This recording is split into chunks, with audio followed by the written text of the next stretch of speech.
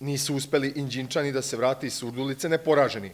Odlično su odigrali prvo poluvreme, ali u drugom samo što se krenulo sa centra 1-0. Strelac za radnik je bio Pavlov. Na drugi gol se čekalo 15 minuta. Makareć ulazi u 16-terac Inđinčana, golman Preković ga ruši, a sudija Živković bez razmišljanja pokazuje na belu tačku. Uzalud su se bunili gostujući igrači.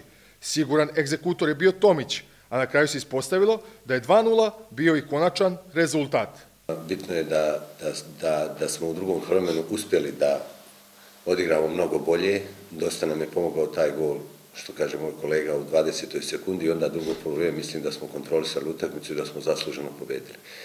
Čestitao bi igračima jedne i druge ekipe, čestitao im svoj, i svojim normalno koji su se digli još jednom i ovo drugo polovreme odradili stvarno muški, momački, Trener Zeleno-Belih je bio prilično ljut na svoje igrače, koji su dozvolili da tako olako prime prvi pogodak. Tako da sam prilično ljut, na, pogotovo na zadnju liniju. Jedan dug pas iz, koji je leteo 40 metara, momak prime na grudu, unese, niko ne isprati centar fora i zadnju linije i primimo gol. To je.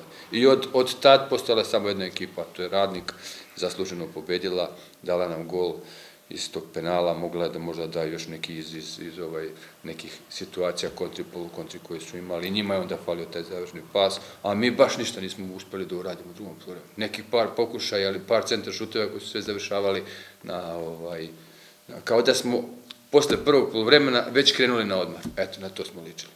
Ovo je bilo poslednje kolo u prvom delu prvenstva, a Superligaši će sada na zimsku pauzu, koja će trajati do polovine februara 2020. godine.